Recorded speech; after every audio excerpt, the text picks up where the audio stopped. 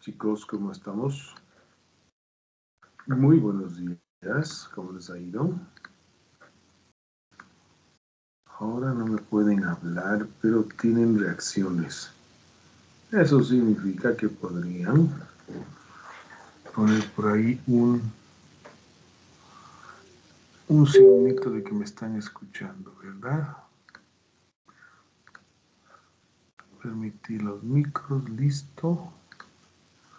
Y permitir las cámaras, listo. Ahí, bien, ¿me escuchan, no?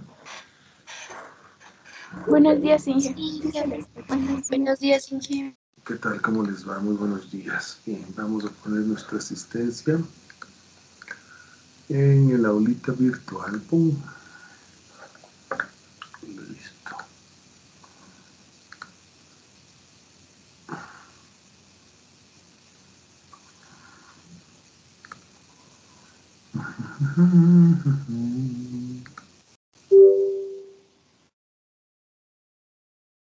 Cálculos básicos de ingeniería. Paralelo 1. Iniciamos una nueva semana. Una nueva semana, muchachos. Eso, tema. Su impartición de contenido lunes. A ver. mm, Hoy tenemos em, calores de disolución. Como un caso especial del balance de energía sin reacción química. Error en la base de datos. Qué extraño. Cálculos básicos. Veamos cuántos pusieron presente. Ururum, Tengo 35 personas aquí en el Teams. Y pusieron 32. O bueno, siempre es menor el número, ¿no? Ya de llegar el resto. Ya antes, ya llegar los que faltan. A eso, muy bien. A ver, ahora sí vamos a buscar nuestra super presentación.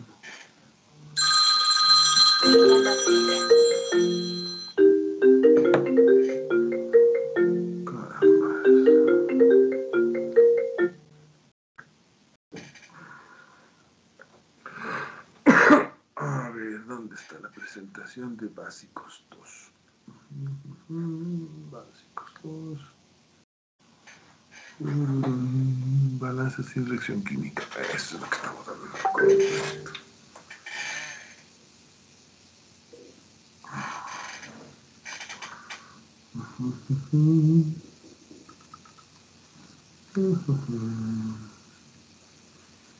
Siempre tarda su tiempito, pero termina abriéndose sin duda alguna. Aquí lo tenemos. Vamos a buscarle ciclometría, ya hemos visto todo, tenemos que hacer en el PAE la carta ciclométrica y entraríamos a esto, sí. Porque hicimos este, no, sí, hicimos este, perfecto. Calores de disolución y mezcla, como otro caso especial de... Ay, ¿qué pasó con esto? De... em, los balances sin reacción química. A ver, un segundo. Están ahorita entrando mensajes de todos los lados. Es increíble. Uno es- está conectado, está en clases y empiezan a sonar mensajes, llamadas, de todo.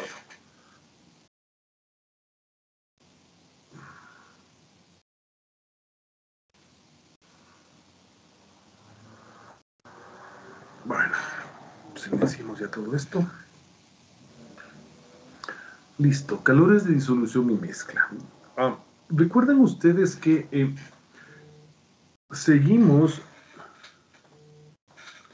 seguimos dentro de eh, lo que son balances sin, em, sin reacción química, ¿de acuerdo? Las ecuaciones de balance ya las conocemos. Ah, es cuestión de irlas aplicando dependiendo de cada uno de los casos. Para lo cual, y usted posiblemente se pregunta, profe, ¿y cuándo aplicamos las ecuaciones de balance? Ya lo, vamos, ya lo vamos haciendo. Lo que me estoy concentrando en las clases es de irles dando los casos particulares. de cuándo aplicar la ecuación de balance, ¿de acuerdo? Eso es lo que estoy concentrándome en las clases, dejándoles a ustedes el tiempo suficiente para que puedan ir avanzando en los em, ejercicios de los libros, ¿vale? Eh, tanto los propuestos como los resueltos. Y siempre pues guardar la esperanza em, de que em, ustedes lo sigan haciendo y que cualquier duda que tengan, algún ejercicio que no les sale o no pueden o no saben cómo llevarlo, pues lo traigan a clase y me digan, vea, profe, eh, no tengo, no, no me sale, ya intenté, no pude, no me salió, apliqué lo que hemos visto, pero eh, no me termina sin, o sea, termina sin salirme el, ejercicio, profe, ¿qué hago? ¿Qué hago? Entonces, claro, me compartes, la, me compartes la pantalla y pues vamos viendo, ¿verdad?, cómo es lo que resolviste el ejercicio y te vamos sacando de las dudas, ¿de acuerdo? Entonces, eso es lo que estamos haciendo, ¿de acuerdo? Vamos eh, por casos particulares y pues em, aplicándoles a los balances, ¿no? Bien, entonces, como tú, como tú ves aquí, calores de disolución y mezcla, ¿de acuerdo? Entonces, em, vamos pensando en esto. Cuando se mezclan dos sustancias, ¿verdad? Y las mezclas de gases eh, puede ser un punto de partida muy interesante, ¿verdad? Porque se les considera esto como mezclas ideales. Oh, ¿qué es esto de una mezcla ideal? una mezcla ideal eh, es pues en la cual eh, las propiedades son aditivas, ¿de acuerdo? Ah, y fíjate, esto ya lo habíamos hablado en clase antes, ¿no? ¿Cómo encontrar el CP de una mezcla? Mm, ¿Dónde estamos? Sí, con este día. Ah, el CP de una mezcla de gases, habíamos dicho pues que es la sumatoria de las fracciones molares multiplicado por el CP de cada uno de los componentes. Y eso es una mezcla ideal. ¿De acuerdo?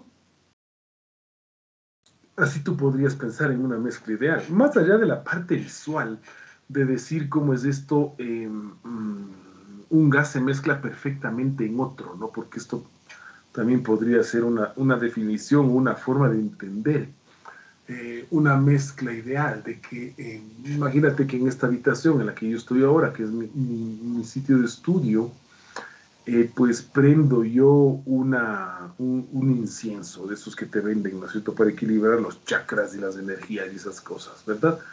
Prende el incienso y pues va a pasar el tiempo paulatinamente, toda la habitación va a tener el olor al incienso.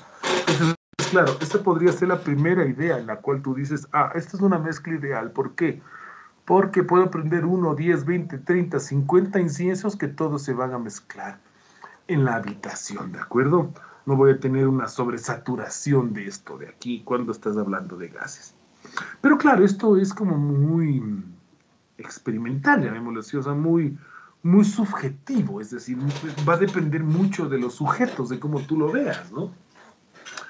Es por eso que pues, yo me atrevo a decirles, una mezcla ideal es eh, mejor cuando em, las propiedades de la mezcla son aditivas con respecto a las fracciones molares. Y es así que en la segunda línea de mi presentación, esto está claro, ¿no? O sea, si puedo sumar aditivamente los CPs de cada uno de los componentes multiplicado por las fracciones molares de los mismos, ¿de acuerdo? Pues puedo hacer lo mismo con las entalpías. Y de ahí es lo que sale esta idea de la entalpía de las mezclas. Cuando mezclas una sustancia con otra, ¿verdad? Em, que no solamente en los gases em, te cae esto, ¿no? Sino en básicamente cuando tienes líquidos, ¿no es cierto? Cuando tú eh, disuelves un sólido en un líquido, por ejemplo, o mezclas una solución concentrada en el solvente, eh, pues vas a tener cambios de energía, ¿sí? Que los, nosotros los medimos o los eh, mm, entendemos, los cuantificamos a través de la entalpía. Perfecto.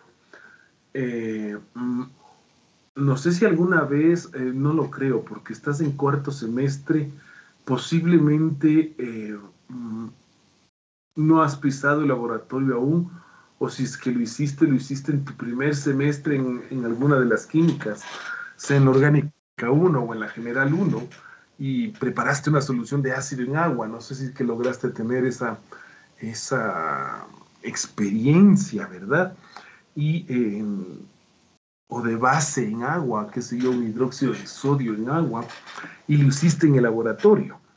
Em, o partir de un ácido concentrado y obtener un ácido diluido sería otro ejemplo de esto. Entonces, em, claro, si no tuviste esa experiencia, si por, si por la pandemia básicamente no viviste esa experiencia, te puedo contar de que eso se calienta. El instante en que tú pones eh, un ácido concentrado en agua, ácido clorhídrico en agua, o ácido nítrico en agua, ácido sulfúrico en agua, que son soluciones concentradas y se le ponen el solvente que es del agua, pues eh, sientes que eso se calienta. O cuando disuelves el eh, hidróxido de sodio, por ejemplo, que es de los ejemplos más comunes, pero son reales, ah, ah, se empieza a calentar, empieza a haber desprendimiento de energía. O sea, uno siente físicamente, imagínate que este sea mi recipiente de laboratorio. Yo mezclo aquí eh, ácido con agua y de repente se empieza a calentar. ¿De acuerdo? O le, disuelvo, ¿no es cierto?, un sólido en agua y eso se empieza a calentar. ¿Por qué se calienta? Pues básicamente son por los mecanismos, o bueno, porque hay transferencia de energía entre el sistema y el entorno, que es lo que sería más, más prudente decirlo eh, ahora. Es por los mecanismos de solución. ¿A qué me refiero ¿Por qué el agua es el solvente universal? Primero porque puede, em, tiene la capacidad, pues la polaridad en la molécula, y por la molécula como tal, evidentemente, eh, de ejecutar dos mecanismos para que se disuelva una sustancia. El primero se le conoce como solvatación. El primer mecanismo de por qué el agua disuelve un sólido es porque lo solvata. Solvatación. Solvatación.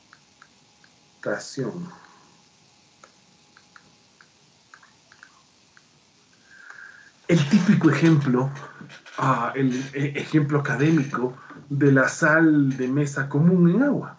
Si nos vamos aquí, verás al, buscador y le ponemos um, sal común disuelta en agua, para explicarte esto, ¿no? Lo que es la solvatación. Mira, a ver si es que hay alguna imagen bonita que nos pueda hacer entender esto, ¿no? esto, la sal común en agua, ¿verdad? Pero veamos si alguien lo dibujó a nivel molecular. Oh, sí, mira. Esta es una muy buena imagen. Claro, por supuesto. Bien. Inicialmente, este conglomerado de esferas celestes y esferas anaranjadas representan el cloruro de sodio. El uno tiene carga positiva y el otro tiene carga negativa, ¿de acuerdo? Ah, y las moléculas del agua están representadas aquí con estos globos rojos con dos puntitos blancos, ¿de acuerdo? Sal sin disolver, es decir, coges un puñado así de sal y pum, lo botas al, vaso, ¿verdad? Eh, si no haces nada, pues no pasa nada, no se disuelve. Pero el instante en que tú le empiezas a agitar, puru, puru, se empieza a mover. Fíjate cómo los, eh, las pelotitas azules y las amarillas empiezan a desperdegar por todo el vaso, ¿sí? Y por su carga, carga negativa y carga positiva, la molécula del agua también tiene carga negativa y carga positiva, ah, pues como que se empiezan a agrupar. Entonces las moléculas del agua ah, buscan a las cargas positivas y tratan como de taparles con sus cargas negativas. Y, lo contrario, las moléculas negativas, eh, pues eh, el agua las, digamos, por esa diferencia de cargas, ¿no es cierto? trata de ocultarlas o trata de juntarlas con las cargas positivas ¿no? de ella. Y eso es lo que se conoce como solvatación. Veamos si es que hay una mejor... Eh, mm, sí, mira, esto, este, este, podría ser una, otra buena imagen ¿no? para poder explicarme. Fíjate. Ah, el, sodio em, simbolizado con estas em, bolitas de color azul Ah, está rodeado de cargas negativas del agua. Y el cloro, el cloruro sería mejor dicho, que es carga negativa, ah, pues está rodeado de las partes positivas, con las cargas eh, positivas del agua, como se ve en la imagen, ¿vale? Entonces, esa es solvatación. y que se te agrupen de esa manera las cargas, hay un cambio de energía. ¿De acuerdo? Si en lugar de ser cloruro de sodio fuera, por ejemplo, hidróxido de sodio, ¿de acuerdo? Eh, pues empiezan a suceder estos fenómenos. Como son muchas cargas positivas eh, y negativas las que te aporta el cloruro, de, el hidróxido de sodio, por decir algo, ¿verdad? tienes esa sensación de que eh, tienes un flujo de energía desde tu recipiente al exterior, al ambiente, ¿de acuerdo? Ese es uno de los, de los mecanismos por los cuales el agua eh, genera ah, disolución, ¿de acuerdo? Lo conocido como solvatación, así, así solubiliza el agua, ¿de acuerdo? Bien, uh, otro de los que pasó, uy, no, otro de los caminos por los cuales el agua forma solución con las sustancias es la capacidad de puentes de hidrógeno. La formación de puentes de hidrógeno. Puente de hidrógeno. Puente de hidrógeno. en la química, eh, sí, porque estamos en bases de química, esto para poder explicar el tema de las energías, ¿de acuerdo? Eh, en la química eh, normal, ¿no es cierto? el agua se le conoce como el solvente universal y te dice eh, es solvente universal porque puede disolver moléculas eh, inorgánicas como moléculas orgánicas. Por eso es solvente universal. Pero claro, se avanza un poquito más en el conocimiento y bueno, decimos, más o menos por solvatación, el agua va a disolver las moléculas inorgánicas, todas las que forman iones, ¿no? Y por puentes de hidrógeno, el agua va a disolver todas las que no forman iones, como por ejemplo el azúcar, ¿sí? La, la, la glucosa, se disuelve en el agua, ¿verdad? Ah, por formación de puentes de hidrógeno. Entonces, verás, déjame ver si es que encontramos unas imágenes del agua formando puentes de hidrógeno para que se pueda entender la diferencia, ¿no? Puentes de hidrógeno en el agua, pongamos aquí. Puentes de hidrógeno en el agua. Mira tú, qué maravilla. Veamos si nos encontramos un bonito. Ah, sí, mira tú, no, pues ahora ya la cantidad de. Um, de imágenes que te salen y después es súper genial. Entonces sí, mira, el agua es la única molécula que es dadora y aceptora de puente de hidrógeno, que aquí lo, lo podríamos, lo podríamos ver, ¿no es cierto? Eh, dono, el, dono, el puente y acepto el puente es por también desbalance en las cargas, ¿no?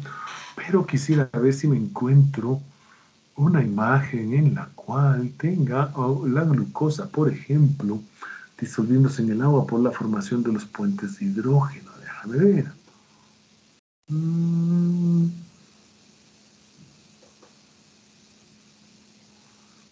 No, no, no, no así, acción disolvente. Ah, mira, veamos, es que esta diapositiva. Mm, sí, mm, esta es la diapositiva de alguna persona.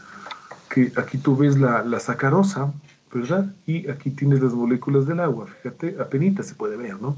formando los puentes de hidrógeno con los OH. ¿no? Entonces, eh, fíjate que se van agrupando como alrededor. Eh, no, esta no es una buena. Esta de aquí está bastante, bastante bien.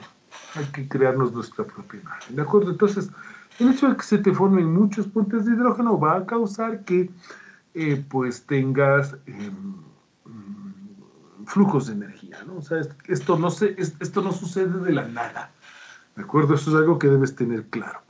Tanto la solvatación como los puentes de hidrógeno no es algo que sucede de la nada. De acuerdo que, oh, por milagro químico, ¿no es cierto? Porque Dios así lo, ha querido. Pongo sal en agua y se disuelve, pongo azúcar en agua y se disuelve, que son los dos ejemplos que estoy tomando. Sino que pongo sal en agua y se me solvatan. ¿De acuerdo? Eh, o cualquier sustancia iónica se va a solvatar, el agua los va a solvatar y pues se va a disolver. ¿de acuerdo? Y pero si pongo una orgánica, de bajo peso molecular, definitivamente, ¿no? Eh, ¿Cómo se disuelve? Pues por la formación de los puentes de hidrógeno. Es igual cuando mezclas alcohol. Esto tampoco lo debes haber visto seguro ni cuando estás tomando con los amigos en la esquina de las gasolineras.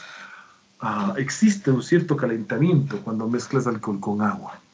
Es prácticamente imperceptible, ¿no? Porque bueno, para que exista ese flujo de energía que tú lo sientas en la mano, eh, pues em, tienen que ser valores superiores a, nuestra temperatura corporal para nosotros poderlo sentir. Pero cuando son valores inferiores, dices, no, pues esto no se calienta nada, pero sí sucede. ¿De acuerdo? que una sustancia se disuelve en otra o en el solvente, ¿no es cierto? No sucede de la nada, sino tienes flujos de energía que le van acompañando.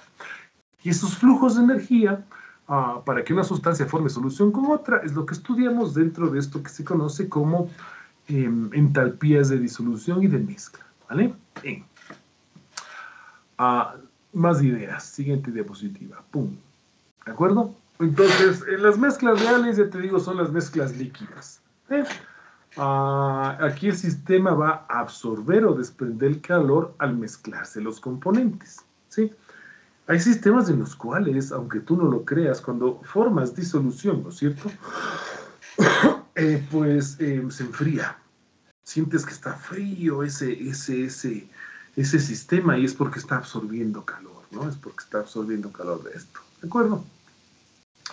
Y aquí pues viene eh, la, mm, la ecuación con la cual nosotros podemos entender esto de, la, de cuánta energía está involucrada cuando tú disuelves una sustancia en otra. ¿De acuerdo? Entonces, fíjate, eh, del tachis, ¿no? O sea, podemos hacer eso de las sumatorias. Y siempre es final, mira, el cambio de entalpía de la solución final menos el cambio de entalpía de los componentes iniciales es igual a lo que se conoce como el cambio de entalpía de mezclado. Esto está como de más, volvemos esta parte de aquí. ¿Ves que debo corregir las diapos que todavía no están 100%? Tengo que hacer una corrección a esta diapositiva que mira, a ver. Ya, ni le copiarás. ¿Sí? Ah, y es así como se lo calcula buscas eh, la entalpía de la disolución final, la entalpía de los componentes iniciales y eh, pues encuentras el delta H de mezclado. ¿De acuerdo? Entonces, aquí lo que viene a complicar un poco el cálculo, sí, básicamente es eso, es parte es de donde sacan los datos, ¿no? A ver, pero más ideas. Los calores de disolución se parecen, aquí entre comillas, hay que corregir esa diapositiva también, se parecen a los calores de reacción en cuanto a que ocurre un cambio de energía debido a las diferencias de las puestas de reacción entre las moléculas del solvente y del soluto. Esto ya está ya explicado. ¿Por qué? Porque te he dicho cuáles son los mecanismos por los cuales, por ejemplo, el agua forma disolución, es por eh, solvatación o por formación de puentes de hidrógeno. ¿De acuerdo?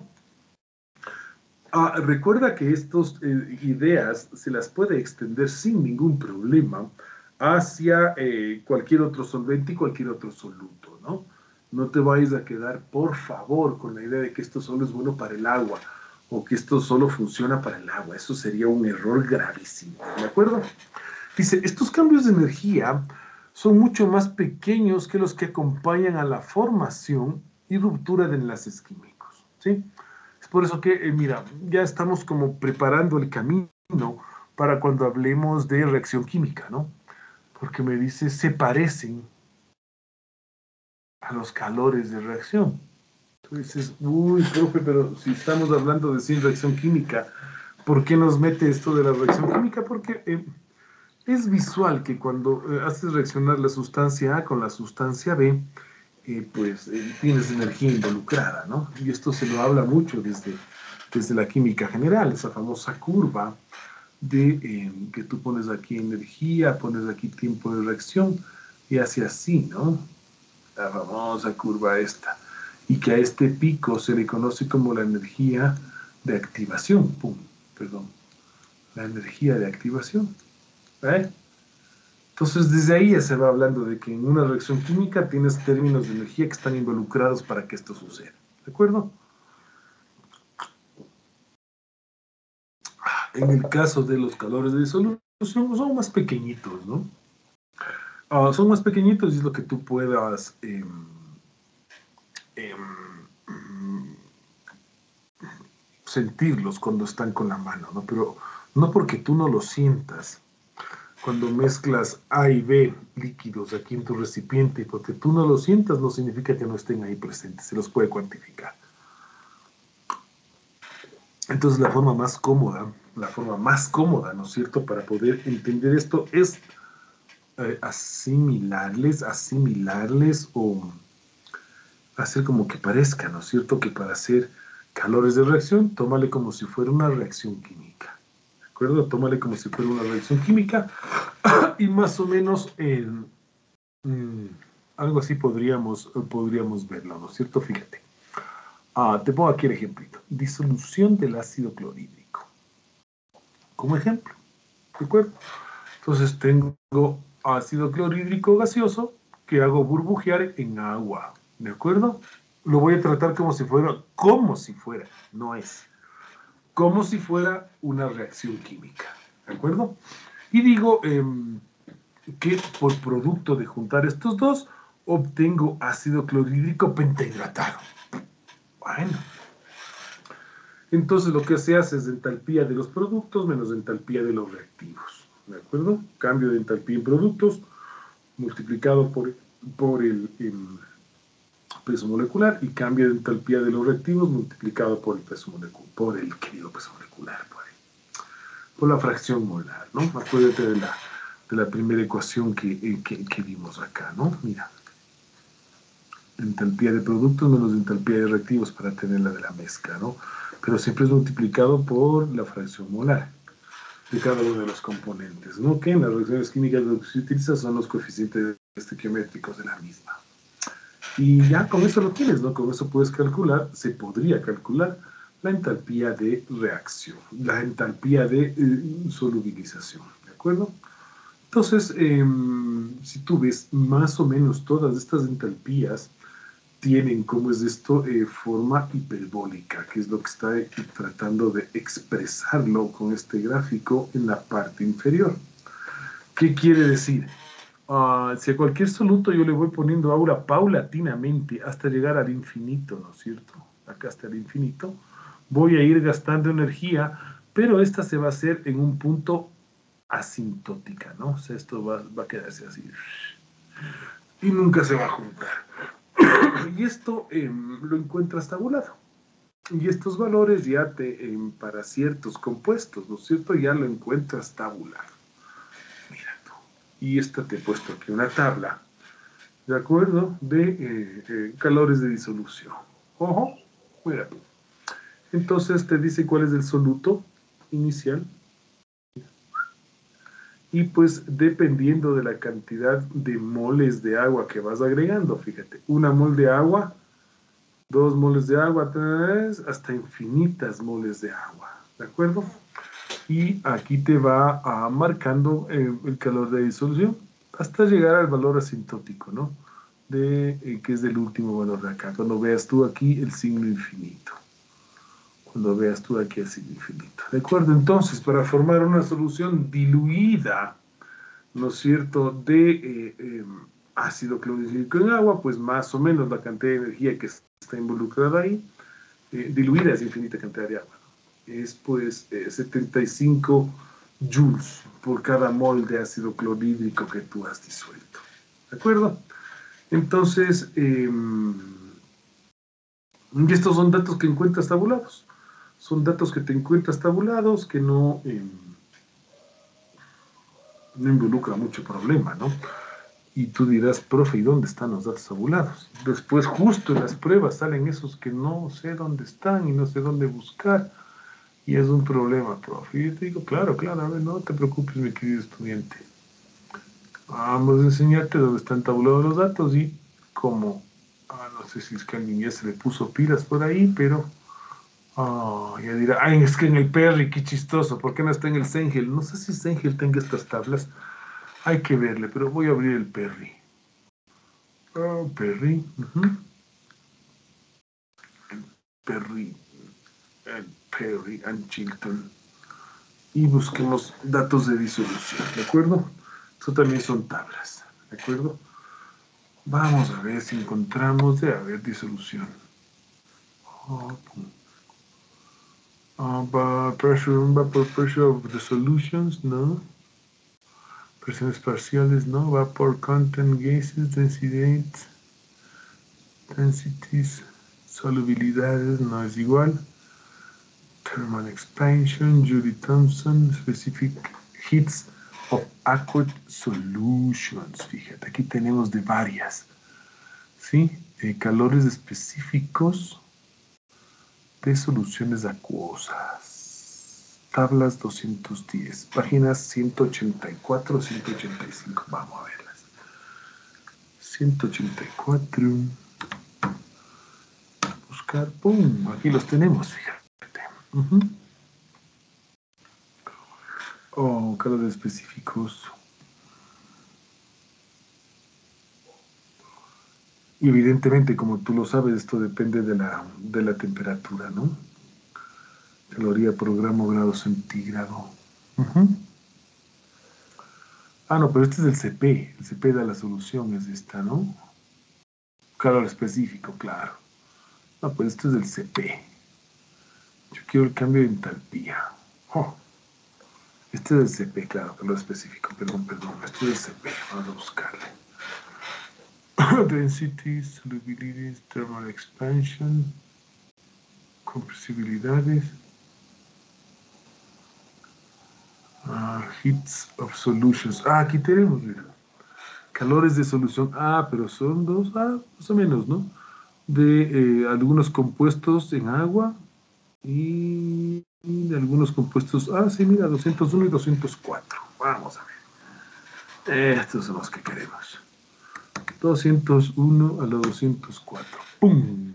Aquí lo tienes, fíjate. Ojo.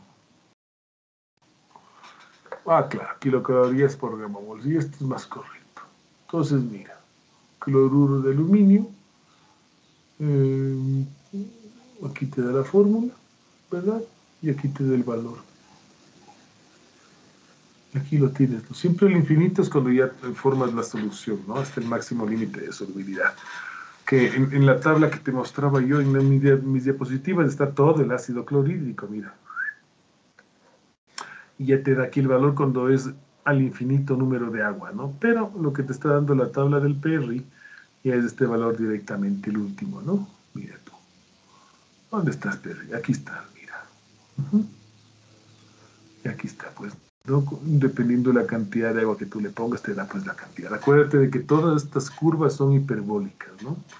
Son hiperbólicas, o sea que llega hasta el final. Pero mira, está bastante completa la tabla, ¿no? Hay muchas sustancias aquí bromuro de calcio hexahidratado o cloruro de calcio mono di tetrahidratado, sí, sí, correcto.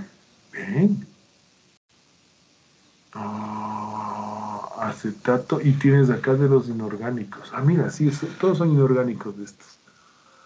Cloratos, bien, bien. Y más sustancias inorgánicas y qué, alegría tenemos también las orgánicas.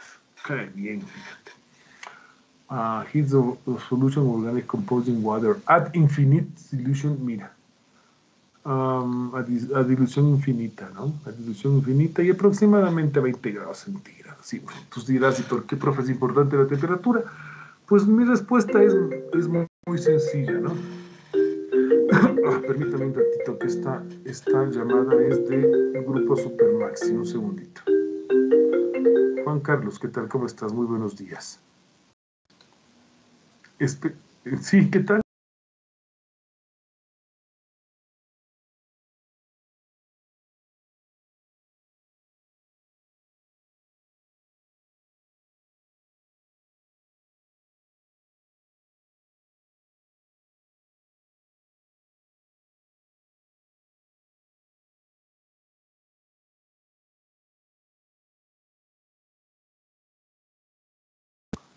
Ya chicos, mil disculpas. Estamos haciendo un proyecto con los buenos amigos del grupo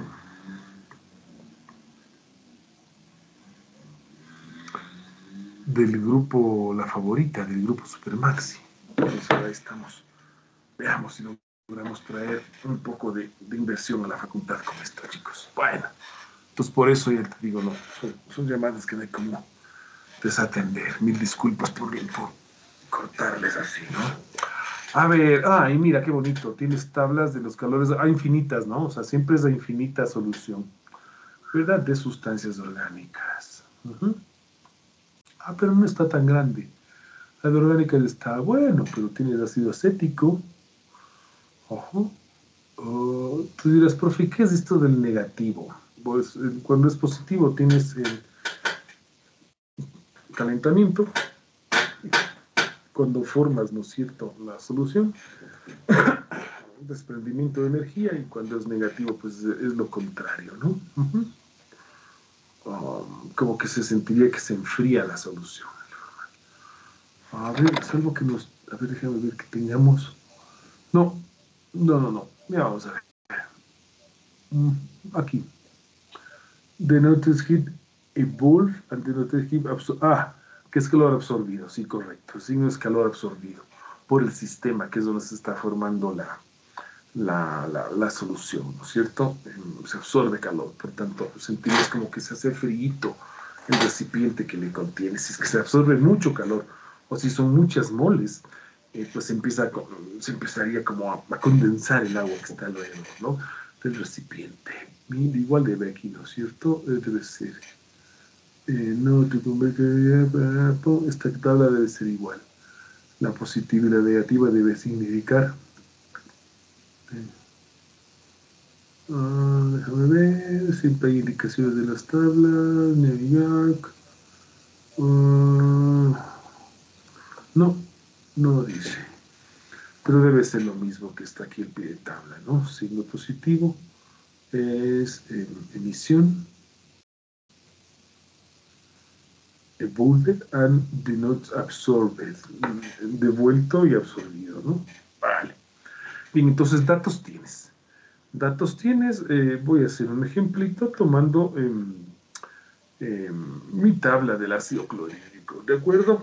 Que es una tabla bastante completa, no son tablas tan comunes estas, ¿no? Pero oh, ya te digo, lo que se suele hacer es eh, darte el dato de eh, final, ¿no? Lo que sí no olvides es esto que es hiperbólico, ¿no? El dato del Perry está aquí, en el infinito. ¿De acuerdo? El dato del Perry está aquí. O el valor que tú ves en Perry es este valor de acá arriba. ¿De acuerdo? Ah, es este valor de aquí, ¿no? Por, verás que te pongo doble flecha y tanta cosa para que no te pierdas. ¿Sí? Ah, si es que te dan datos de otras, de otras, ¿cómo es esto? De otras... Eh, concentraciones de agua, que no sea infinito, pues estarás aquí, ¿no? Estarás o por aquí con una moleculita de agua, estarás o por acá con dos moleculitas de agua y de ella te pasa directamente el infinito porque el comportamiento en todos los casos es igual que el que ves tú aquí en el ácido clorhídrico. ¿De acuerdo? Bien, entonces, eh, hagamos un ejemplo. Dice, fíjate, eh, calcula el cambio total de entropía de mezclar una mol de ácido clorhídrico con una mol de ácido clorhídrico con 5 moléculas de agua para dar 2 moles de ácido clorhídrico ah, y 10 moléculas de agua, ¿no? A 25 grados centígrados. Bueno, le escribes la reacción como si fuera una reacción química. No es reacción química, sino lo que tú haces es em, escribir como si fuera una. Entonces dices, mezclas una mol, ¿verdad? De ácido clorhídrico con 15 moleculitas de agua. Como le pongo aquí. 15 moleculitas de agua. Esta relación de una mol de ácido clorhídrico con 15 moles de agua, tú lo puedes transformar sin ningún problema por los pesos moleculares la relación peso en peso, ¿no? Tranquilamente. Em, sabes que una mol de ácido clorhídrico tiene 36 gramos, sabes que una mol de agua pesa 18. Ah, entonces podrías decir ácido clorhídrico con tanto por ciento, ¿no?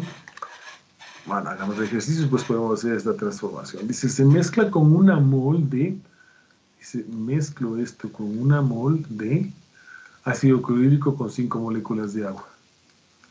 HCl.5 moleculitas de agua. Eh, era tu maravilla, ¿no es cierto? Dice, para dar dos moles, dos moles de ácido clorhídrico con 10 moleculitas de agua. Ácido clorhídrico con 10 moleculitas de agua. ¿Verdad? Todo dice que está a 25 grados centígrados. Entonces, em, mira, es cuestión de, mirar la tabla y sacar las entalpías, ¿no? Verás, voy a cambiarle de color de esfera. Ácido clorhídrico con 15 moléculas de agua, está por aquí, ¿no? El valor es 70.989. Este es un valor de 70.989. Ácido clorhídrico con 5 moléculas de agua. Ácido clorhídrico con 5 moléculas de agua, 64047. 64,047. Está sacando las entalpías, ¿no? Nada más. Y con 15 moléculas de agua, ¿dónde está el de 15? Ups, aquí está. No, este es el de 15, el de 10 debería ser. Sí, sí, el de 10. Tan, tan, tan. Este de aquí. 69,486. 69,486. Y unidades. Esto siempre es joules por gramo mol, ¿no es cierto? De ácido clorhídrico. Ah, mm, final menos inicial. El cambio de entalpía en esta muestra, ¿verdad? Es igual siempre es por las moles, no te olvides de esto, ¿no es cierto? Lo que queremos es la energía, ¿no? Entonces tengo dos moles de este de aquí. Dos moles multiplicado por 69,486 menos uh, el inicial. El inicial es, esto es cada una, una por uno, ¿no? Pero bueno, le voy a poner para que le veas. Una mol por 70.989 más una mol por 64,047. Cierro y cierro. ¿Podrías calcularme, por favor, el delta H? ¿Cuánto sale de este cálculo? Tú que tienes ahí una supercalculadora. Salió 3.94. permíteme, ¿me puedes repetir, por favor? 3.94. Positivo, ¿no? ¿Sí? Sí, positivo. 3,94 unidades joules por mol. 3,94 unidades y joules por mol. No, bueno, en este caso solo serían joules. 3,94 joules. ¿Por qué no joules por mol? ¿Por qué solo joules? Porque ya le estoy multiplicando por las moles, ¿no? Si le ves, al multiplicarle por las moles de la... de esta, perdón, ecuación ¿No es cierto? Mira, de esta como ecuación ya le estoy dejando solo en joules. Ahí tienes la energía. Prácticamente imperceptible, ¿no? Claro, pero es aquí donde el estudiante se le empieza a volar la cabeza porque dice, chuta, profe, nunca en la vida hemos visto pues ácido clorhídrico con 15 moléculas de agua, o con 10 moléculas de agua, o con 5 moléculas de agua. Profe, me estoy muriendo de frío, chicos. Ah, entonces te decía esto, ¿cómo puedes transformar el porcentaje en peso? Eh, pues muy sencillo, mira. Ah, opciones del color. Con los pesos moleculares. Ya tienes pesos moleculares, mira. O aquí me van a ayudar ustedes de los cálculos, ¿no? Mira. Ácido clorhídrico pesa 36. ¿No es cierto? Y dice que está disuelto en 15 eh, por 18. 15 que son las moles multiplicado por 18. ¿Cuánto es la masa total de estos chicos, por favor? 36 más 15 por 18. 306. ¿Cuánto? 306 gramos. 306 gramos mono, ¿cierto? 306. Ya, lo mismo hagan acá, por favor, en cada uno de estos. 36 más 5 eh, por 18 sería aquí por 5 por 18, el, suma de este de acá, y este HCl tengo 36 más 10 por 18 más 180. Ya. Regáleme estas sumas, por favor. El de 5 sale 126. 126. ¿Y este de acá? 216. 216. Listo. Entonces digo, profe, yo nunca he visto, seguramente, capaz que les nace esta idea, ¿no? Y me puedes decir, oiga, profe, yo jamás en mi vida he visto ácido clorhídrico con, con 15 moléculas de agua, pero yo sí he visto porcentaje de ácido clorhídrico. Pues, ¿Cómo le calculo, profe? Fácil. Uh, divides 36 para 306. ¿Cuánto te da eso? Uh, ahora vamos por aquí. 36, que es el peso del ácido clorhídrico, por el peso total, que me dijiste que es 306. Ya. En este de acá, 36 para 126. ¿Cuánto da eso? 36 para 126 en este de aquí, 36 eh, dividido para 216. ¿Cuánto, cuánto daño? Ya multiplicado por 100, por favor.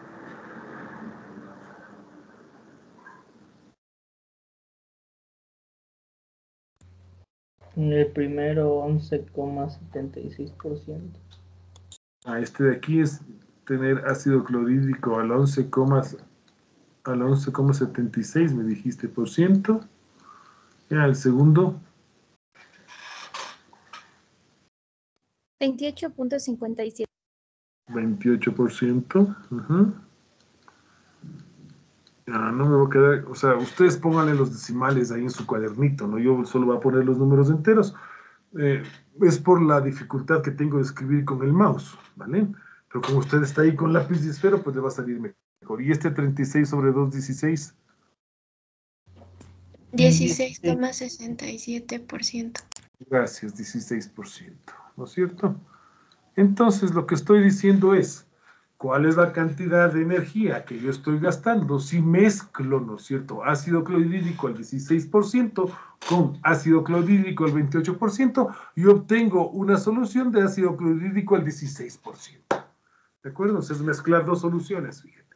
Solo que está puesto este ejemplo Em, con los valores, o sea, para poder leer directamente en la tabla, ¿no? Ir y buscar las entalpías de la tablita y ya está. Pero claro, es aquí donde em, a veces esto suele suceder en los exámenes. ¿Qué se les dice a los estudiantes, no? Em, a ver, mezcla ácido clorhídrico del 5% con ácido clorhídrico del 28% y dígame qué cantidad de energía está involucrada. Y tú dices, chuta, profe, pero, uh, a ver, esperes, pero, uy, ¿cómo, cómo? Pero si en la tabla no hay un porcentaje. Y yo te digo, ya, pero eso tú puedes em, calcularlo, ¿no? Si yo te doy el porcentaje, tú puedes calcular cuántas aguas tienes de ácido clorhídrico, ¿no? Tranquilamente. Porque 11,36 11, 11 gramos de ácido clorhídrico por cada 100 de solución. Y tú puedes ver cuántas moléculas de agua tienes ahí, ¿de acuerdo? Igual, si te doy el porcentaje de esta solución de acá, esto es general 1, general 2, no sé en dónde vieron esto, em, tú puedes calcular cuántas moles de este tienes y cuántas moles de agua tienes. Y también te puedo dar, ¿no es cierto? Um, si em, junto una solución del 16% con una solución del 28%, em, ¿qué tipo de solución voy a sacar acá, no? Entonces también puedes hacer tú. O sea, qué, concentración tiene la solución que obtengo al final, ¿no? Eh, bien, eh, ¿dudas? No, creo que, no sé. Pienso yo que no hay ninguna. Hagamos otro ejemplo. Dice, ¿cuál es el calor de formación estándar de una mol de ácido clorhídrico en 5 moles de agua? Calor de formación estándar.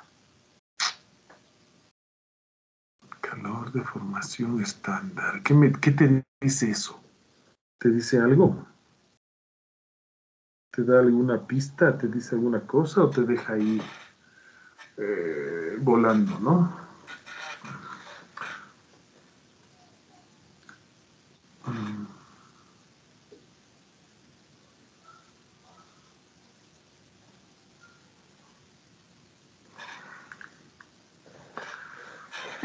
No te dice nada. Bueno, vamos, vamos siguiendo los pasos que, que, que ¿cómo es esto? Que, que les he contado hasta ahora. Dice, em, usted mezcle, ¿no es cierto? Usted escriba el fenómeno de disolución como si fuera, sin serlo, una reacción química. Entonces, ¿yo qué tengo por aquí? Eh, uh, tengo ácido clorhídrico. Ah, ¿Qué le voy a meter aquí?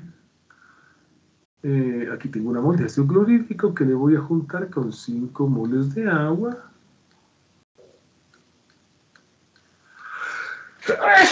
Salud. Ay, perdón, no, no, no se escriben moles de las ecuaciones químicas. Tengo mucho frío, chicos. ¿Qué será que ya me dio otra vez esta cosa? No creo. Calla, calla. O sea, porque está abierta la ventana y en mi cuarto no llega el sol. Por ahí van las cosas, creo yo. Más 5 moles de agua. ¿Qué se forma de esto? Ácido clorhídrico pentahidratado.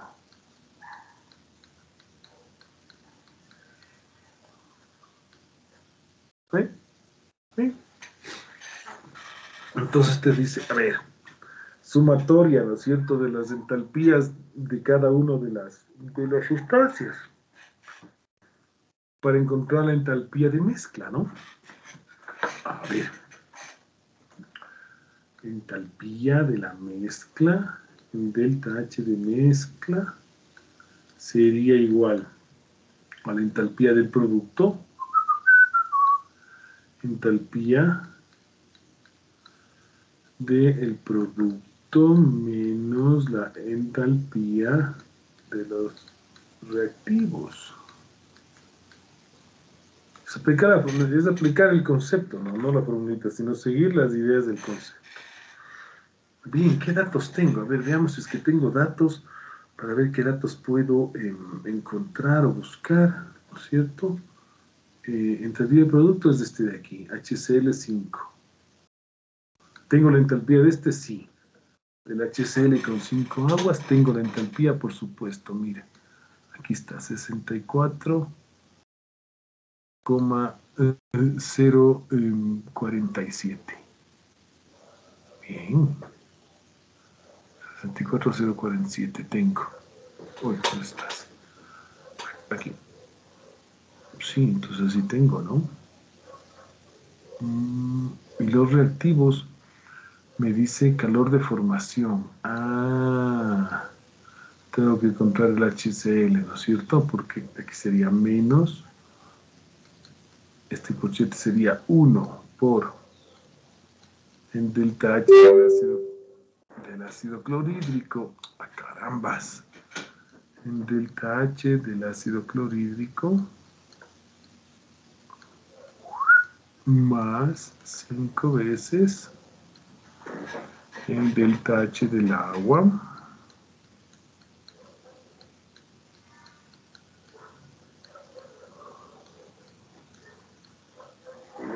y esto que sería el bueno el delta H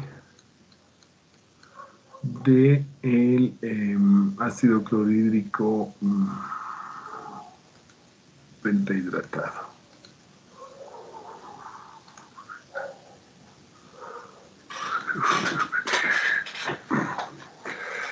Chachay, Dios mío, ¿por qué tengo tanto frío? Este sería el valor de 64. Aquí está. Ah, pero este es el de disolución integral. Este es el de la mezcla, este es de la respuesta. Claro, calor de disolución integral acumulativo. Este es, este es la respuesta como tal. Uh, fin.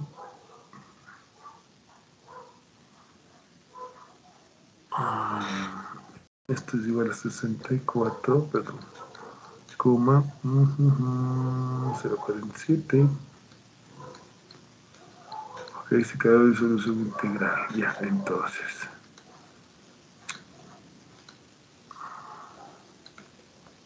Y esta hora que estaba escribiendo antes.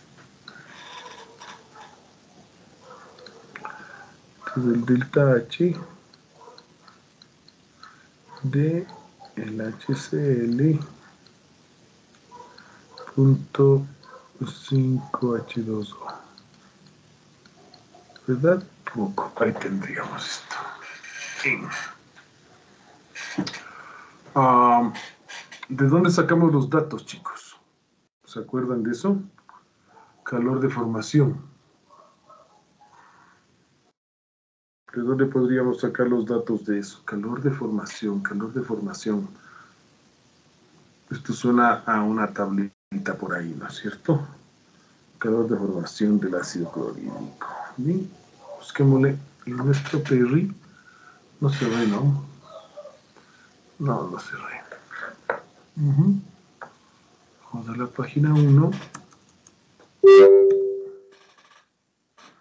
Y busquemos los calores de formación.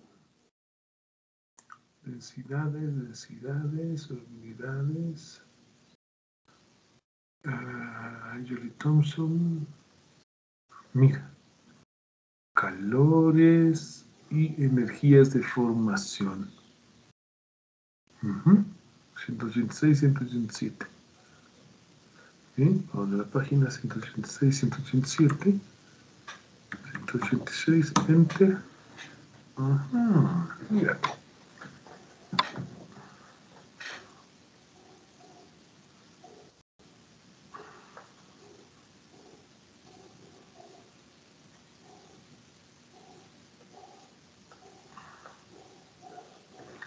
¿Dónde está el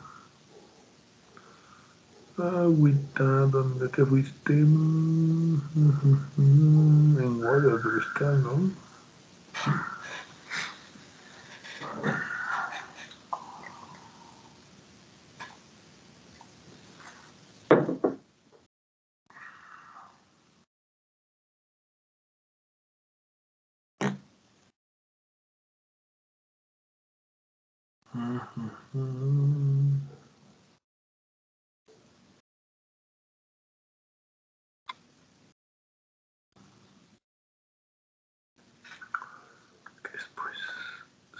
Z.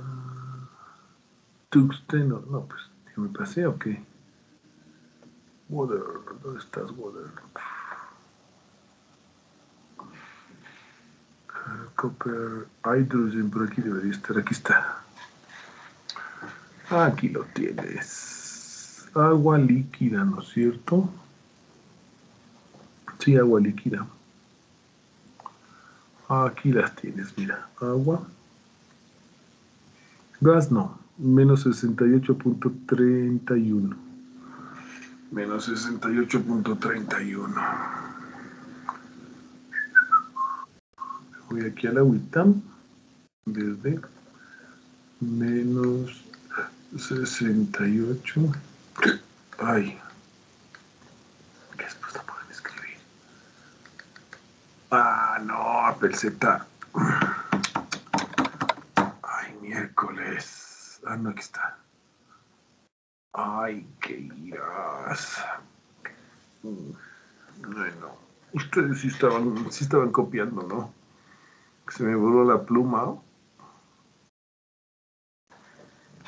¿Están ahí? No. Sí, estaban copiando. Perdón, se me borró la pluma, así que tengo que repetir. A ver, pero. Ah, Mm, aquí estaba el agua, era menos 68,50 y pico era, ¿no? El Perry, aquí está el agua. Punto 31. Ya, y esto está multiplicado por 5, ¿no? Porque eran 5 moles.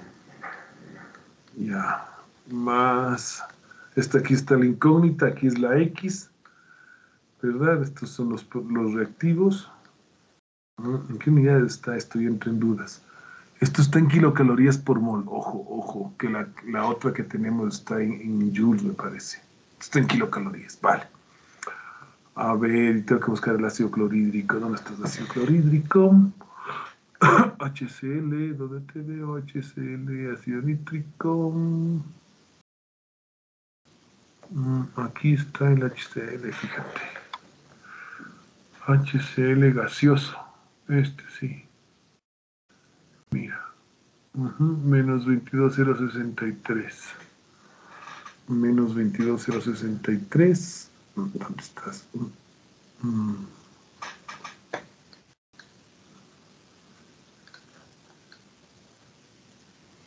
Ya.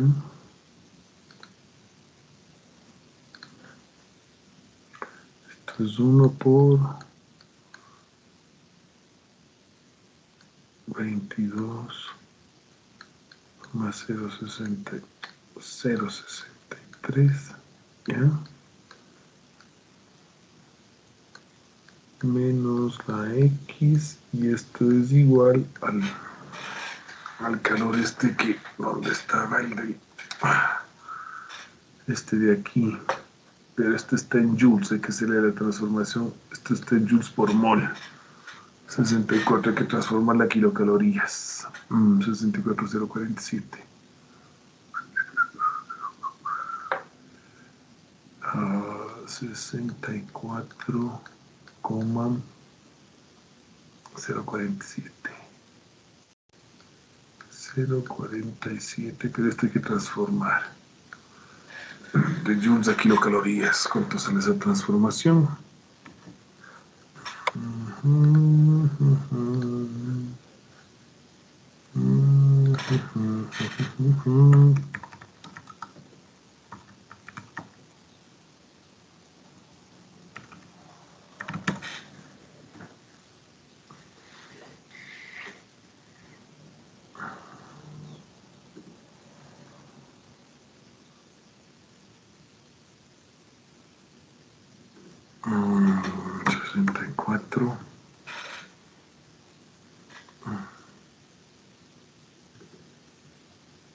Un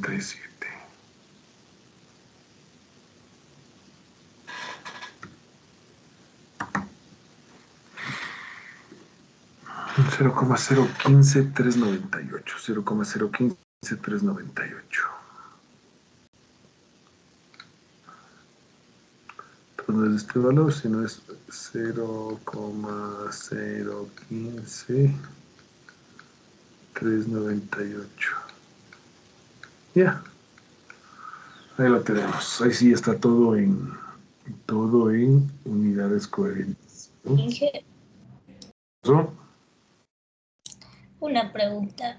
La entalpía del ácido clorhídrico no debería ser en la fase acuosa. De este ácido clorhídrico de aquí, por lo general este es gas. Cuando se mezcla en agua, el ácido clorhídrico es gas. Es por eso que le tomé este valor de aquí, ¿no? ¿Dónde está mi, mi tabla? Está aquí. me fui aquí al ácido clorhídrico y mira, le tomé como si fuera gas, que por lo general, o sea, cuando está, como es esto, solito el ácido clorhídrico es gaseoso. ¿De acuerdo? Esta es la solución concentrada, la del pozo de acá. Ya, Inge, gracias. Es por eso que le tomé con ese, con ese valor. Bueno, aquí ustedes amablemente me van a dar el valor de la X. Y con eso estamos estamos listos, ¿no? Ah, todos estamos en unidades coherentes, sí, ¿no? bueno, ustedes ya me imagino que ya tienen copiado esto, déjenme ver que esté en unidades coherentes todo. Esto está, sí, kilocalorías por mol, perfecto.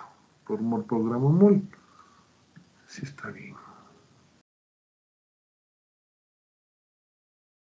Esto está en joules por gramo mol, perfecto, sí hay que hacer el cambio hay que hacerle el cambio. Ya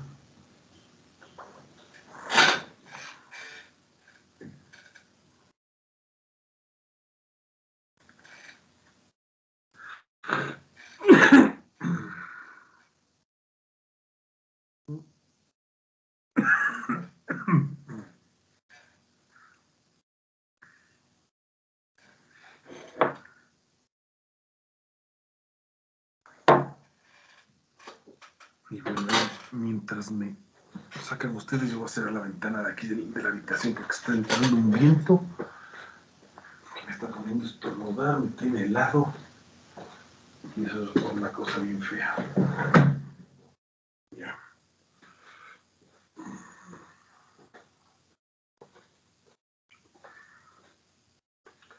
¿Cómo les fue?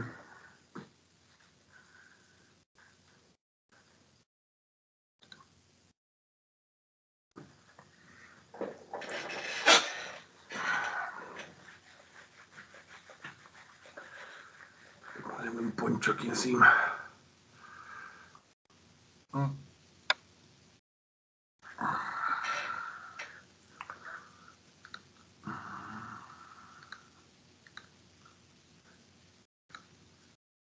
Inge a mí me dio menos 363,50 y bueno, 6. 300. 363,6. Sí, kilocalorías, ¿no? Yep, Sí. estamos. Yep. ¿Cómo estamos en el tiempo? Una hora. Bien, se avancemos a hacer otro ejercicio.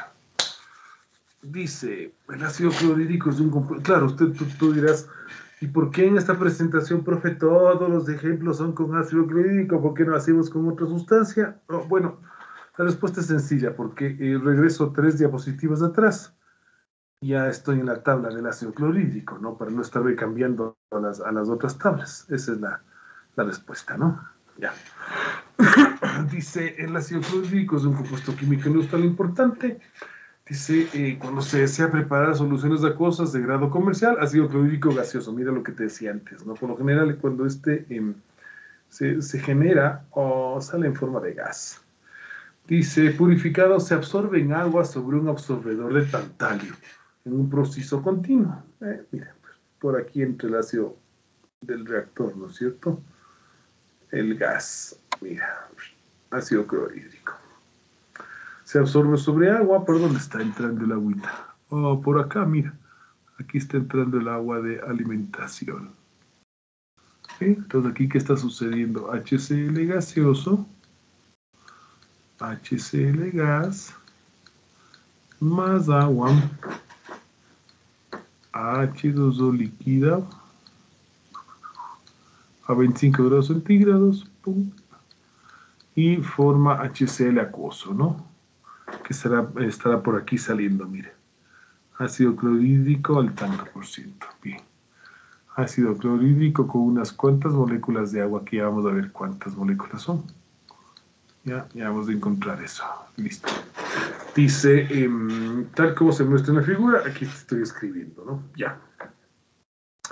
¿Cuánto calor debe eliminarse del absorbedor por cada 100 kilogramos de producto? Ah, ya, muy bien. Aquí de esto dice que está saliendo 100 kilos. 100 kilogramos de producto. Ah, totales. Si se elimina, si se alimenta ácido clorhídrico gaseoso a 120 grados centígrados, suponer que el agua de alimentación está a 25 grados centígrados y que el producto de salida HCl acuoso, que este de aquí, es una solución de HCl al 25% en peso. ¿No es cierto? A ver, entonces, chicos. Eh, para poder utilizar los datos, eh, tenemos que ver cuántas moles de agua tiene esta, esta solución al 25% en peso de ácido clorhídrico. ¿Cómo hacen ese cálculo? Que sería el cálculo inverso a lo que hicimos en el primer ejercicio, ¿no? Que partimos de las aguas y le calculamos el porcentaje. Ahora les estoy pidiendo que desde el porcentaje me digan cuántas moles de agua tiene esta cosa. Ya, a ver. ¿Cómo, ¿Cuántas moles de, de agua tiene una solución de 25% de ácido clorhídrico? Inge a mí me salió 6. ¿Seis? ¿Cómo hiciste? A ver, es- descríbenos cómo hiciste para ilustrarnos a todos. Eh, bueno, con lo que nos había indicado anteriormente, que era el inverso de, como dijo el, el, ay, se me fue el nombre. Bueno, le voy a dictar cómo le hice el cálculo. Más o menos como que definí una variable de x para 36 dividido para x multiplicado por 100, eso es igual a mi porcentaje. Entonces, bueno, como ya tengo el porcentaje, solamente reemplacé y saqué esa X que le tomé como variable para encontrarle. Y ahí me salió 144.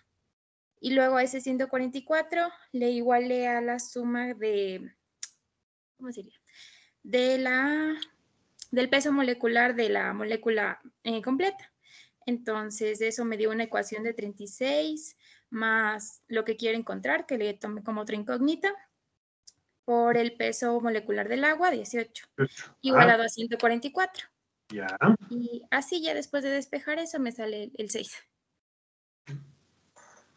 De lo que te entendí, creo que está bien.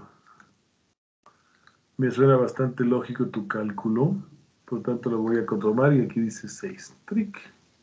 ¿Alguien está en contra de esto? Sí, ¿no? Tal vez.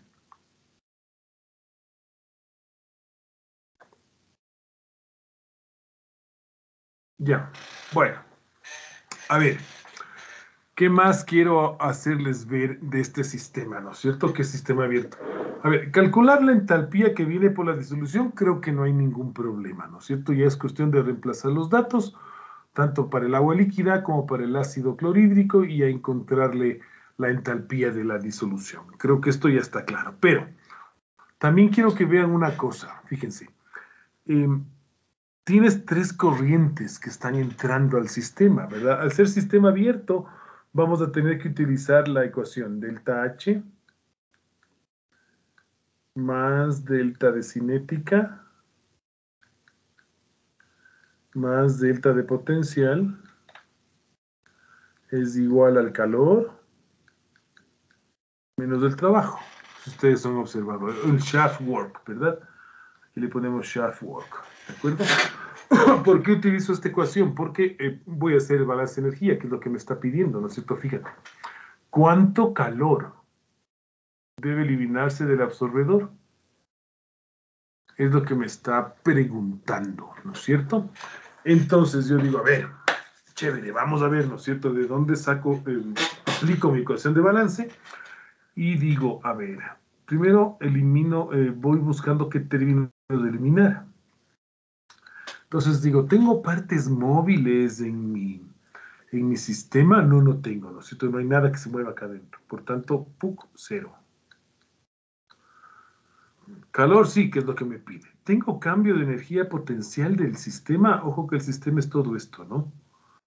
El sistema es todo esto de aquí desde que entra el agua. Cambia el sistema de energía potencial no se está moviendo, ¿no es cierto?, por ningún lado, y tú podrías pensar incluso que, bueno, esta agua tiene una cierta caída, ¿no? Y que el agua, pues, que está entrando por aquí, pero mm, prácticamente esto lo puedes eliminar, porque eh, no está cambiando tu sistema de, de posición. Cambio de cinética, como no me dan datos de las tuberías por las que están ingresando el agua y estos de aquí, eh, no, no tengo esto cambio de cinética cero. Bien, entonces, ¿qué me está diciendo mi ecuación general de balance? El cambio de entalpía, ¿verdad? Es igual al calor que tú estás buscando del absorbedor. Pero bien, aquí es a lo que quiero llevarte al pensamiento. Este cambio de entalpía, ¿verdad? Em, el sistema tiene tres cosas, ¿no? Tiene agua, que está pasando de 25 grados centígrados hasta 35 grados centígrados. y tú eres observador, aquí tienes un cambio de entalpía. Para el agua, para el agua, ¿no es cierto? Agua que va de 25 a 35. Aquí tienes delta H del agua. Y esto, ¿con qué término lo evaluarías? Agua que va de 25 a 35 grados centígrados y no tiene cambio de fase. Esto es con la integral del CP, ¿no es cierto? Tranquilamente, para, evaluar este término del agua, haces la integral entre 25 y 35 grados centígrados del CP del agua líquida, CP del H2O líquido por DT. Esto puedes hacerlo sin ningún problema. ¿De acuerdo? Esto está en tu en tu conocimiento hacerlo sin ningún problema. ¿Vale? Bien, ah, un término de entalpía. Otro término de entalpía, fíjate, lo tienes aquí. ácido clorhídrico que va desde 120 grados centígrados hasta 35 grados centígrados. Entra gaseoso. Entra gaseoso y termina líquido, ¿verdad? Entonces aquí tienes, ¿cómo es esto? Em, dos entalpías que van a ir sumadas, si tú caes en cuenta, ¿no es cierto? La primera que es el calor de em, condensación desde el gas hasta el líquido, ¿verdad? El calor de fusión del ácido, del ácido clorhídrico y después, eh, pues, em, el cambio de temperatura desde 25 hasta 35 grados centígrados. ¿Se entiende esta parte? El ácido clorhídrico tiene cambio de fase, pasa desde gas hasta líquido, ¿de acuerdo? Entonces, aquí hay cambios de entalpía. ¿Qué cambios de entalpía? Cambio de entalpía del ácido clorhídrico, del HCl, desde el, gas hasta el líquido. Esto es entalpía de, de condensación, ¿no? ¿De dónde sacas ese dato? Pues de, de las tablitas, ¿no? Aquí debe haber para el ácido clorhídrico, bueno, son calores de formación, pero eh, debería haber, ¿no es cierto? El, el calor de, condensación, ¿no? O el de vaporización, que es igual, pero a la inversa, o sea, sin lo cambiado, ¿no? Veamos si nos encontramos el calor de vaporización del ácido clorhídrico. Thompson, specific heat, no, estos son de los EPs, no, esto no es. Compresibilidades, calores de combustión, calor de solución, propiedades termodinámicas, calores específicos, calores latentes. Eso por aquí debería estar. Página 150. Calor latente. 150. Busquemos el calor latente del amigo ácido clorhídrico. Aquí está, verás. HCl, ¿dónde estás HCl? Por aquí, aquí estás HCl. Vamos a ver. Este que es eh, melting point, calor de fusión. Esto es suficiente. Ah, el calor de vaporización que lo tienes acá. Muy bien. Este es 3800 um, será o 3,86. Um, ¿Con qué separan los miles esta cosa y con qué separan los decimales? Déjame ver si es que... Ah, el decimal está separando con punto, mira. 67.7. 85.0. Mientras que el 1000 aquí está, ya. Entonces 3860, ¿no es cierto? Ácido clorhídrico, calor de vaporización, ¿no? 3860. Mm, Evaporation heat. Boiling point, punto de ebullición. Veamos en cuánto está el del ácido clorhídrico.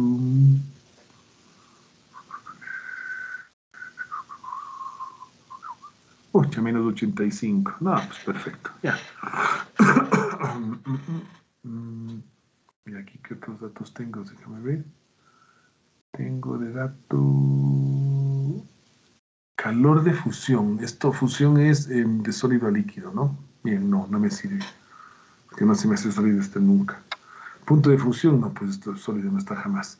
Pero el boiling point sí. Este entonces este del que ¿no cierto? ¿Dónde estabas? Ácido clorhídrico, aquí estabas. Entonces es 3860 unidades calorías por cada mol. 3860 calorías por cada mol. Voy acá. Entonces, la entalpía del ácido clorhídrico que va de gas a líquido es 3860. Después hay que poner todas las unidades coherentes, ¿no? Pero les doy las pistas. Calorías por cada mol. Ya sé cuántas moles estoy poniendo de ácido clorhídrico, sí, ¿verdad? Ya hizo el cálculo la compañera. Sé que estoy sacando 100 kilogramos de la mezcla eh, por tanto, sé cuánto estoy poniendo de esto, ¿no? sí. 35 mm, creo que es, ¿no? No, 25. 25% en peso, 25 gramos por cada 100 de producto. Por tanto, por aquí deben estar entrando 25 kilogramos. de ácido clorhídrico, ¿verdad? En gas. 25 kilogramos en gas. Listo. Una vez de que tengo, em, esta, es la, cantidad de calor que estoy empleando para transformar el ácido clorhídrico gas a líquido, ¿verdad? Y eh, yo creo que será más que suficiente porque em, mm, vamos a llegar a esta temperatura a 35 grados centígrados, porque el boiling point, si tuviste, está en menos 85, entonces no hay em, como calentamiento aquí, ¿no? Ni enfriamiento de esta parte de acá. Ah, ya está. Este es un término con el CP del agua, que ya te, ya te dije, no puedes calcularlo. Aquí está el otro término que está calculado, ¿verdad? ¿Y qué otro término de entalpía tienes que considerar? Es la entalpía de la disolución, que es lo que ya hemos hablado, ¿no es cierto? Calcular la entalpía de esto, que eso ya pues eh, tú lo sacas con las entalpías de formación, tanto del agua como del ácido carbónico, y ya la tienes, ¿verdad? Para calcular el delta de esa mezcla, ¿verdad? Bueno, pues si quieres hacemos el ejemplo para que no te quede todo tan mental. ¿Sí? Entonces es productos. Buscamos acá. Ah, con 6, pero tengo que hacer la interpolación. Bueno, interpolando, ¿no es cierto? Digamos 65. Pero es que me estoy inventando, ¿no? Porque sale 6, pero tengo entre 8 y 5 y 8. Mm, ¿Qué sé yo? 65. Eso ya lo podrías hacer tú con más exacto la interpolación. Eh, ¿dónde está? Aquí, eh, el producto 65 menos los reactivos. Los reactivos es em, el gaseoso. ah, sí, tengo el, ah, no, tengo el gaseoso, pues. Uh, no, no, no, calor de formación del HCl, no. Esto hay que sacar de la otra tabla. Vamos al Perry. ¿Dónde están los colores de formación? Oh, no, pues tengo que buscarlos otra vez. En unidades coherentes, ¿no? Verás que todo está en, kilocalorías, que estoy mezclando calorías con joules eso a veces suele ser un problema.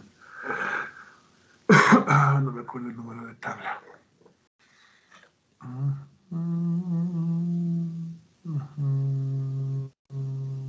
Aquí está, no. Heats of Solutions, esto, 201. ¿Es el que quería? No. Hits of Formations. Aquí está. Hits and Free Energies, 286, ya. 186, pum.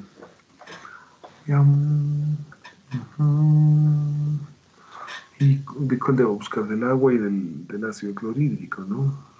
Mm, el H debe estar ambos.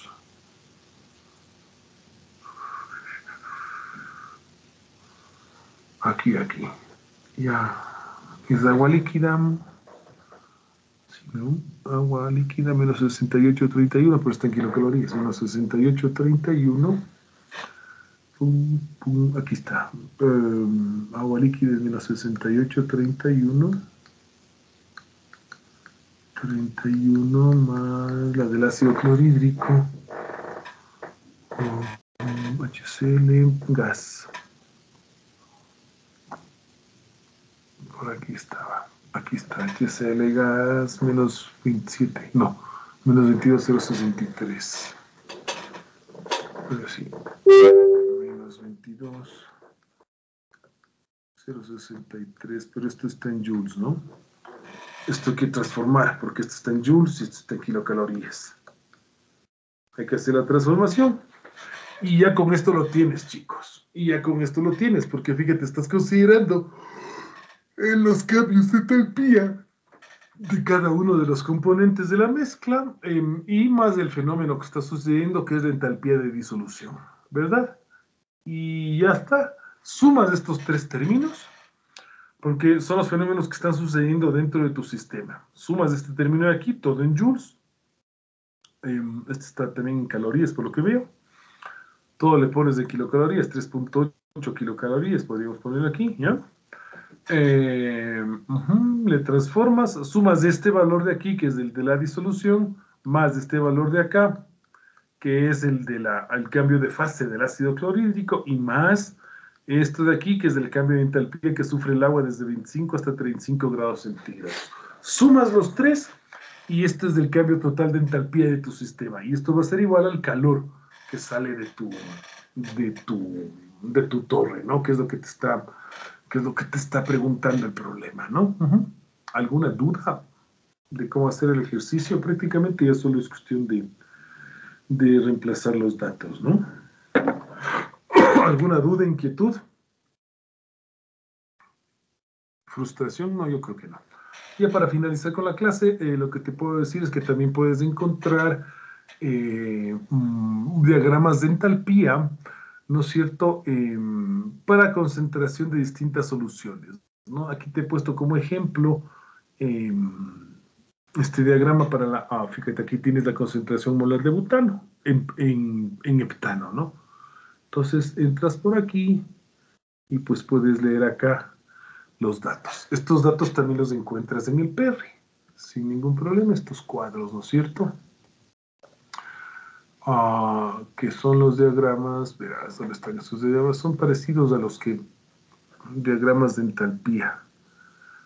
Ah, más acá abajo está. Entalpía, sí. Pero estos diagramas de entalpía concentración también los encuentras en el en el PRI, busquémosle directamente en el índice para allá. No estar buscando así una, una hoja para abajo, sino leamos el índice como tal. Heats, heat solution of thermodynamics properties, specific heats of pure compounds. Y verás, por aquí lo tienes. Temperature, entropy charge, entropy concentration. Mira, para las mezclas, enthalpy concentration diagram, para las mezclas de oxígeno y nitrógeno, por ejemplo, de la página 264. Mira, 264, pum. Eso, y aquí lo tienes, fíjate. Tienes la entalpía, el cambio de entalpía, y aquí tienes em, la fracción molar de la mezcla, ¿verdad? Entonces entras por aquí, aquí tienes las distintas temperaturas y puedes leer los valores de entalpías acá, ¿no? Esto es el sistema oxígeno-nitrógeno. ¿Sí? Y así pues puedes tener, mira, este de aquí es entropía versus entalpía, no esto es otra cosa. Este es un diagrama de Molière cualquiera, sí. Diagrama Molière for potasio.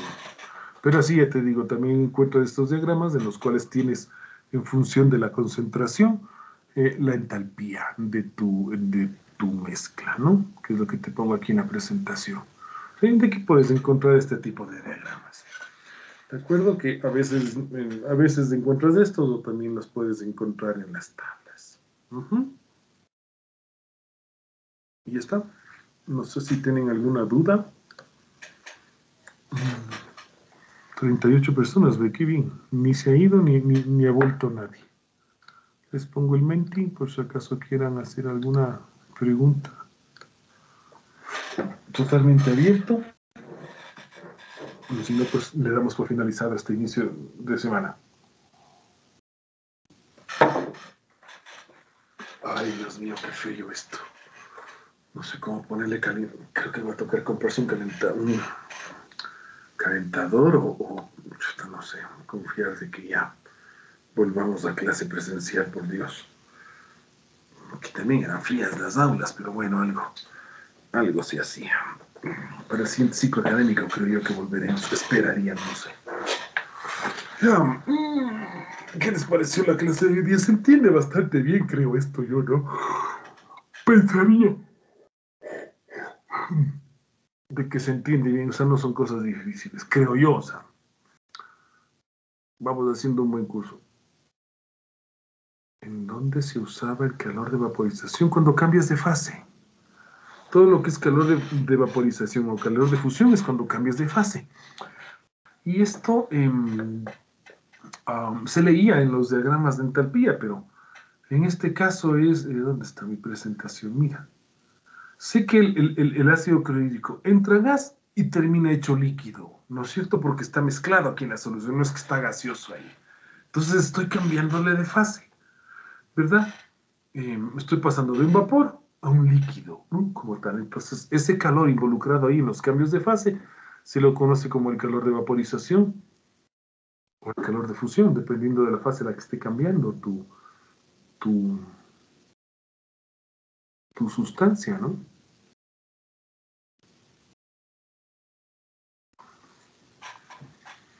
Para eso es el utilizo del calor de vaporización.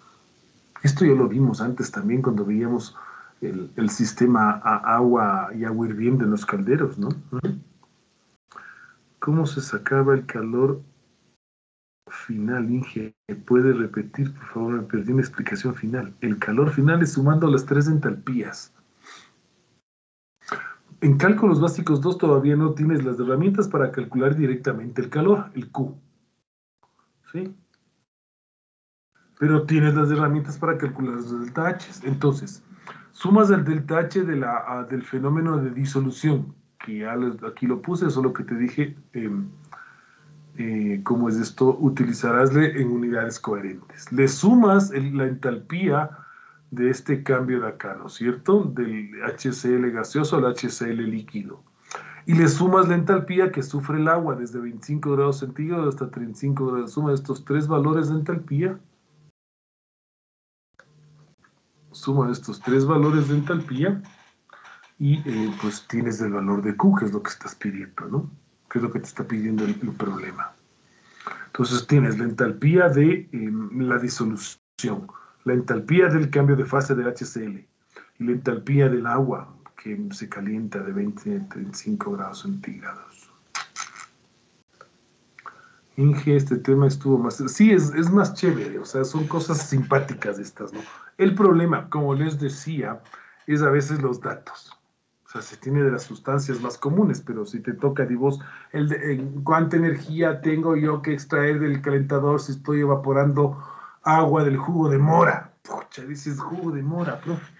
¿Dónde pues estarán las propiedades termodinámicas del jugo de mora? Si yo aprendí con ácido clorhídrico y entonces ahí viene en tratar de estimar las cosas, ¿no? Más o menos a qué se parece cada una, ¿no?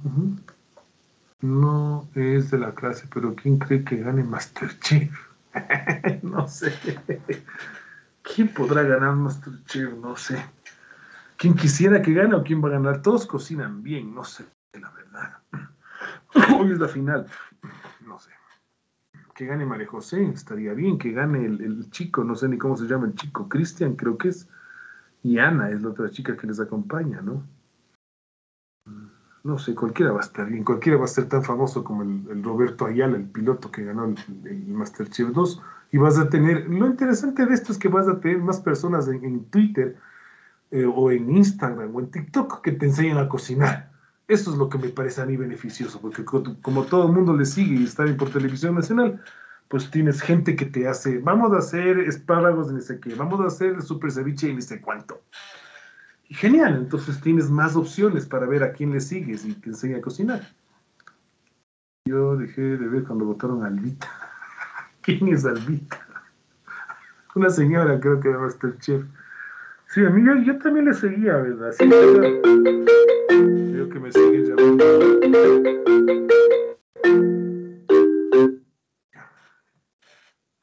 Es increíble. Cuando estoy en las clases llama. Todo mundo quiere que todo mundo le y No lo voy a hacer. En fin, hay que se aguanten un rato.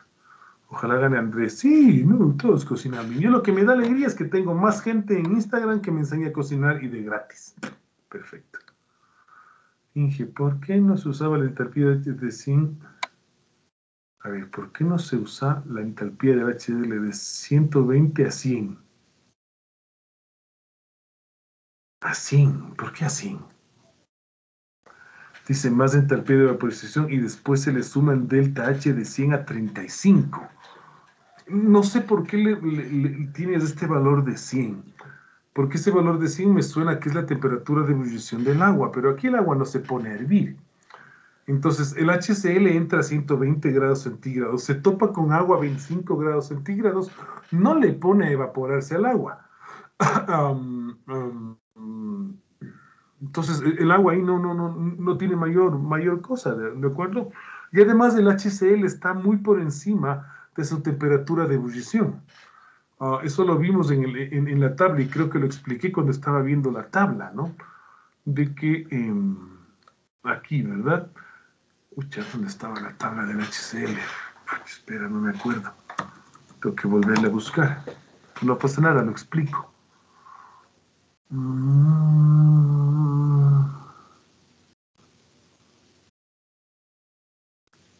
Ah, calores latentes de esto. Tabla, página 150. Eso, latent hits, calores latentes. Mm, por aquí está la del HCl, ¿no? Oh, no, ya me pasé. Beryllium, session copper, hydrogen. Aquí está la del HCl, ¿no es cierto? Fíjate, la temperatura de ebullición del HCl, si tú eres observador, es menos 85. El, boiling point, ¿no? Mira, boiling point a una atmósfera de presión, o sea, el HCl líquido, estamos a menos 85 grados centígrados. Ah, entonces está entrando a 120 grados centígrados, no baja hasta menos 85 grados como para considerarle la, el cambio de calor sensible, sino simplemente tienes el cambio de fase eh, a esa temperatura, ¿no? O sea, tienes, es, por eso que solo considero este valor de aquí, ¿no? Que es el que va del gas a líquido de 3,86 kilocalorías por mol. ¿De acuerdo? Distinto es que si es que el ácido clorhídrico se condensara hasta, su, hasta menos 85 grados centígrados que se hace líquido, ¿verdad? Para de ahí volverse a calentar, pero eso no, no está sucediendo. Ahí sí deberías considerar los cambios de calor sensible que sufre el ácido clorhídrico, pero el ácido clorhídrico solo sufre cambio de calor latente. Y además de eso de los 100 grados que me pones aquí en tu pregunta, esto es, es que el agua se pusiera a hervir, pero no, no, el agua no se pone a hervir. Entonces no, no es, no, no es esta, ¿no? Porque claro, o sea, me da la idea de que le llevas de 120 a 100, ¿de acuerdo? Que ahí tendrías la entropía de vaporización y después se hace el delta de 100 a 135, pero sí, pero fíjate que el punto de ebullición del ácido está, está muy, muy por debajo, ¿no? Está a menos 85. Y el agua tampoco se está poniendo a porque sale a 35 grados centígrados. Espero que lo haya explicado. Ya. ¿Dudas, inquietudes?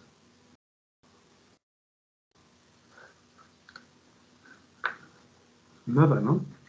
Pues sí, e, es un tema sencillo, por eso se lo desaloja en una sola clase, pie de vaporización, pum, ya está.